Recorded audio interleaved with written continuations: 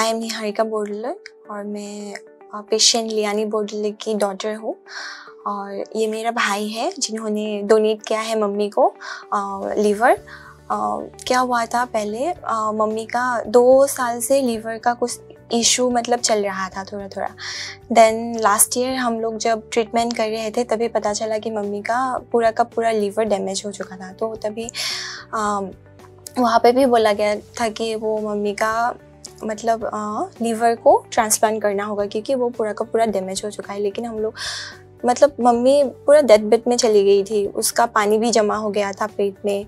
तो पूरा का पूरा पानी भर गया था। तो ऐसे ही हम लोग ट्रीटमेंट कर रहे थे। उसके बाद हाँ Vishal sir doctor Vishal sir Maligaon railway hospital में गया था। देन हम लोग उनसे मिले। इस साल ही वो फेबररी को हुआ था। सॉरी जनवरी फाइव को। देन हम लोग मिले थे तो वहाँ पे सर को जब मिला मम्मी को ओपीडी में दिखाया उसके बाद सर ने इंस्ट्रक्शंस दिए मतलब और मेडिसिन दिए और उसके बाद पानी निकालने को बोला और उसके बाद आ, हम लोगों को बोला कि हम लोगों को दिल्ली आके उसका ट्रांसप्लांट करवाना होगा। देन हम लोगों ने यहाँ पे आके मम्मी का चेकअप वगैरह करवाया और उसके उसके बाद दो महीने बाद हम लोगों ने ट्रांसप्लांट करवाया जो कि वो ट्वेंटी टू अप्रैल को क्या क्या है। और आ, उसके बाद आ, मम्मी की अभी मतलब ट्रांसप्लांट सक्सेसफुल भी हुआ और अभी मम्मी अच्छे हैं। तो आफ्टर ट्रांसप्लांट मम्मी की डेली लाइफस्टाइल जैसे कि डॉक्टर ने बोला उसका लाइफस्टाइल नॉर्मल नॉर्मल लाइफस्टाइल ही वो जी सकती है।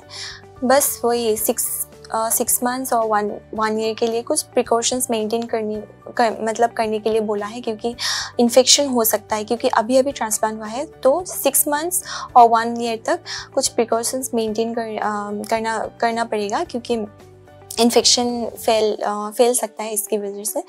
और आ, मतलब मास्क पहन के रहना और ज़्यादा लोगों से बातें मत करना, वैसा। लेकिन बाकी के बाकी लाइफस्टाइल नॉर्मल ही है। मतलब जैसे कि पहले था, वैसे के वैसे ही। अभी वो मेरा भाई सूरज बोर्दोले उसने मम्मी को लीवर ट्रांसप्लांट किया था इसने तो अभी वो अपना पार्ट बोलेगा। हेलो मेरा नाम सूरज है और मैंने मेरे मम्मी को लीवर दिया था। एज ए डोनर मेरे को दो दिन पहले हॉस्पिटल पे एडमिट किया था। उसके बाद टेस्ट वगैरह किया और आफ्टर टू डेज़ वो हुआ लिवर ट्रांसप्लांट हुआ। उसके बाद एक हफ़्ते के लिए हॉस्पिटल पे ही रखा था। उसके बाद रिलीज़ कर दिया था और और उसके बाद ठीक ही हो गया थोड़ा थोड़ा मतलब थोड़ा थोड़ा पेन हुआ था पहले, उसके बाद पेन किलर खाया।